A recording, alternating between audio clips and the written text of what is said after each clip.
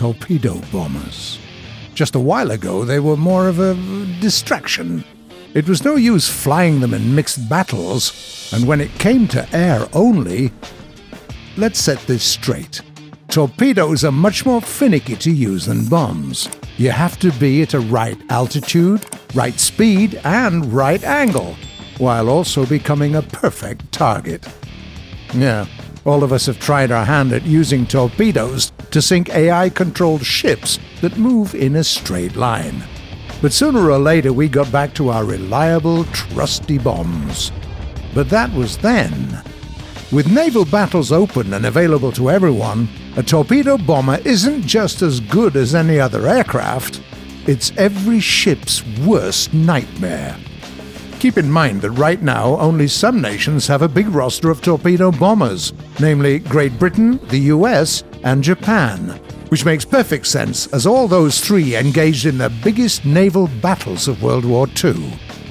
Okay, so what are torpedo bombers?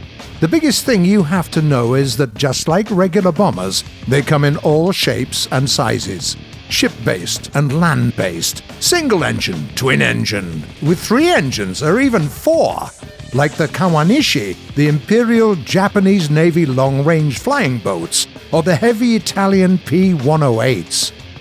Quite a few land based fighters, bombers, and attack aircraft were at some point refitted to carry torpedoes, and there were many aircraft like the Hellcat deck based fighters which were designed with torpedo use in mind. Yep, that's how devastating torpedoes were IRL. You just need to know how to use them properly. Piece of advice number one Know your torpedoes, especially the ones you're going to use. Every model has its own constraints for launching it with respect to your altitude and the velocity you're traveling at.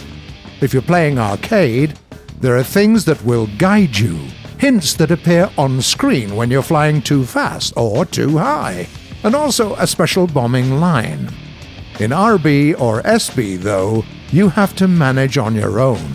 Learn the stats of your torpedoes, and you'll be rewarded with glorious one hit eliminations of many ships. Piece of advice number two use the map to your advantage. To properly release a torpedo, you have to go pretty slow and low. Enemies love targets like that, and who can blame them? That's just like it was IRL. Torpedo bombers were the most dangerous types of aircraft to fly, after all. Luckily for you, most naval battles in War Thunder take place near the shore, with lots of islands, rocks, and other types of surface objects. Learn the maps. Use the landscape to stealthily approach your target, attack from unconventional angles, and reveal yourself for only a short period of time. Those pesky AA gunners won't have enough time to react. Piece of advice number three be a team player. If your friends and squad mates keep your target busy with heavy fire, there will be an opening for your attack. Once again, that's a tactic that was used in real battles. For a few moments prior to the release of their fish, torpedo bombers were very vulnerable, so other fighters or ships were tasked with a mission to keep enemy AA guns occupied or silent, using every trick they had from smokes to heavy shelling. Prefer to play solo? The same logic applies anyway you have far greater chances to sink a ship that's currently fighting other players. Piece of advice number four don't get too greedy. Yeah, it's much easier to score a hit if you get really close to the target. But remember, it works the other way as well. The closer you are, the easier it is to shoot you down. Learn to read enemy movement. Take a little while to gather intel how does this ship react to enemy attacks? What are its movement patterns? Big ships like destroyers and cruisers are rather sluggish. With experience, you'll be able to predict what they're going to do under different circumstances. But if you're just starting out, it pays to be extra careful. Finally, piece of advice number five know your own aircraft.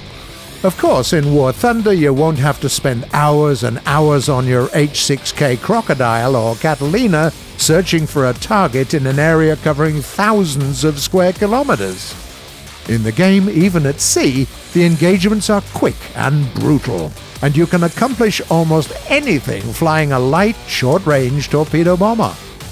The American Helldiver or the Japanese Ryusei are great examples here, both being able to carry torpedoes and carry out lightning quick diving attacks. With them, you can sort of hover above your target till the very last moment, then cut your throttle and deploy air brake to drop on your enemy.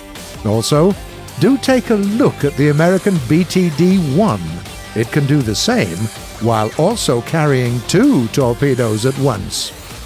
If you prefer heavier aircraft, keep in mind that you won't have that kind of maneuverability. Forget about lightning quick attacks. Remember everything we've said. Use map features to your advantage. Coordinate your actions with other players. Plan your attacks meticulously. Make sure that enemy AA guns won't have much time to shoot back. Deliver your blow and get the hell out. True, it's more challenging to fly these kinds of machines, but trust us, it's also very rewarding to score a hit on one of these beasts. That's it for today. What tactics do you use to score hits with torpedoes? Share your knowledge in the comments below. Happy fishing!